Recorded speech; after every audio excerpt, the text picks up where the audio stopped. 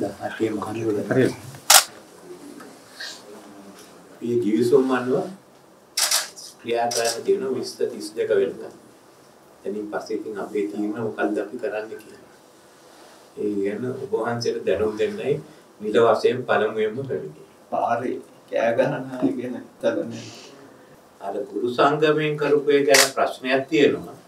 විස් ඒකට අනික් සමහර අයගේ ප්‍රශ්න තියෙන නිසා 20 22 ගුරුවරුන්ට ඒ ශාස්ත්‍රයටම පඩි වැඩි කරනවා.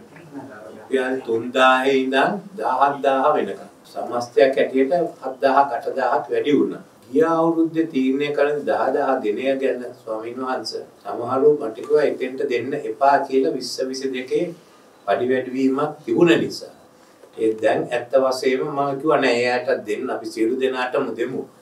ඉතින් දැන් බලනකොට සාමාන්‍යයෙන් ඒ අය අනික් අයට 10000 ලැබුණාට මේ අයට 13000 ඉඳන් 27000 වෙනකන් ලැබිලා තියෙනවා. ඉතින් අනික් අයගේ ඉල්ලීම් ඉෂ්ට කරන්නේ නැතුව මේක කරොත් තව ප්‍රශ්නයක් එනවා. අපිට ඉස්සෙල්ලා තියෙන්නේ අනික් අයගේ ඉල්ලීම් ටික ඉෂ්ට කරලා මෙතෙන්ට එන්න. මොකද මෙතන දෙවරක්. ඒත් මේකයි ප්‍රශ්නේ. මේක කළොත් සමහර අය කියනවා අපිටත් එහෙනම් 20 22යි මේකයි තුනම දෙන්න කියලා. ඉතින් මම හිතන්නේ ඉස්සෙල්ලා අපි දෙන එක හැම එක්කෙනාටම දෙන්න ඕනේ. ඊට පස්සේ මේ ගැන අපිට වෙනම කතා කරන්න. මොකද විවිධ සමිතිවල විවිධ අදහස් තියෙනවා. කරන්න පුළුවන් මෙච්චරයි කියලා කියනවා අපි කිව්වයි ඒක පිළිගන්නේ නැහැ. ඒගොල්ලෝ කියන්නේ එයාගේ ඉස්සෙල්ලා ගන්න කියලා. ගුරුවරුන් එක්ක එච්චර ප්‍රශ්නේ නැහැ. ගුරු සංගම් එක්ක ඔය ප්‍රශ්නේ තියෙනවා. ඒ මොකද අනික් අයත් කියන්නේ තමන්ගේ ඉල්ලීම් ඒකෙත් යම් කිසි මේකක් තියෙනවා. ඉතින් ඒගොල්ලෝ කියන්නේ ඉස්සෙල්ලා වැඩි කර අපි ඔක්කොමටම දෙන්න. ඊට පස්සේ තවත් විශේෂ ඒවා තියෙනවා නම් දෙන්න.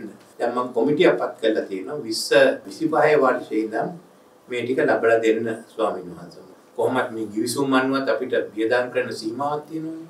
අපි ඉස්සෙල්ලාම ඕනේ සියලු දෙනාටම ලබලා දෙන්න. ඊට පස්සේ අපි ඒට අරගන්න පුළුවන් ගුරුවරුන්ගේ ප්‍රශ්නයක් තියෙනවා. මොකද අපිට පළවෙනි සැරේ හම්බුනේ 20 24. ඉතින් ඒක අසාධාරණයි කියලා එතනත් ප්‍රශ්න තියෙනවා විසඳා ගන්න. ඉතින් මේක කඩාගෙන කරන්න බෑ. අතිකර දේශපාලනයක් තමයි එතන කරන්නේ. මදි. ඉතින් එන අවුරුද්දේ දෙන්න කියලා හිටියේ. මේ අවුරුද්දේ හැම එක්කෙනාට පුළුවන් ඇකසින්නක් කරොත්තුයි නිවාස අයිතිය අපි ලබලා දෙන්න ඉන්නේ. එන අවුරුද්දට කොහොමත් මම හිතන්නේ ආර්ථිකය යන විදිහට අපිට යම්කිසි සහනයක් දෙන්න පුළුවන් වෙනවා. ඒ අන්තිමට 20 27 28 වෙනකොට අර දීමන පඩි ඔක්කොම අරගෙන එක ක්‍රමවේදයක් අපිට හදන්න පුළුවන්. අපිට තෙල් ටිකක් නැතුව එහෙම තිබුණා දැන්. ඊයේ හරියටම මේ බිලියන 10කට වැඩි ප්‍රමාණයක් ඔක්කොම කරලා එකකතාවයකට ආපු දවස. දැන් ඊයේම මේගොල්ලෝ කොටුවට ගෙනාවා.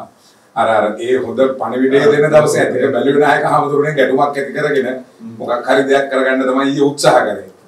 ඊයේම කරේ ඒකම තමයි ඒගොල්ලෝ ලොකුම සෙනග ඊයේ ගෙනාවා. එනලා උත්සාහ කරේම ජනාධිපතිතුමා ඉන්න තැනට ගිහලා ගැටුමක් හදාගන්න තමයි උත්සාහ කරේ. අර ඉතින් පොලිසිය ලොකු උත්සාහයක් ඉදිරිය එක සමතේකටපත් කරා ඒගොල්ලෝ ඒක තමයි නායක හමුදුරනේ බලාපොරොත්තු වෙන්නේ මේ විශේෂ විශේෂව කරන්න ගියොත් ප්‍රශ්න වෙනවා.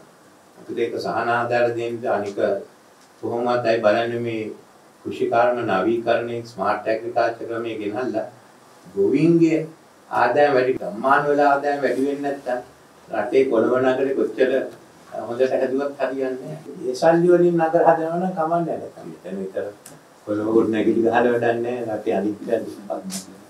ඒ කොපහන්සේ දුන්නේ උපදෙස් ගොඩක් අපිට වැදගත්. දෙවෙනි මාර්ගයේ ධර්මය විප්ලවකාරී ධර්ම.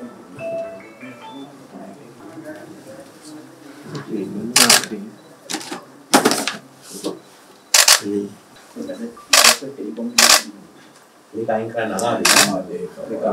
අන්න ඒක PRD එක මෙතන එක එක එක එකතු කරලා එකතු කරනවා. පිටිපස්සෙන් පුළුවන්. පිළිපම් එක තියන්නේ විදිහට. අයින් කරන්න දුන්නු ප්‍රශ්නේ. වෙන්නේ නැහැ තියෙන කෙනෙක්. නෑ නෑ. ඒක හොඳ ධර්මයක්.